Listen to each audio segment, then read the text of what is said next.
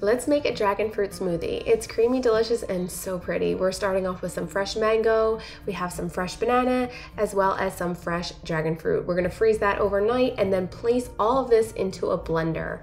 Then we're gonna add some ice, some lemon. You could also use lime and then some oat milk, blend it up, and then you've got your delicious dragon fruit smoothie.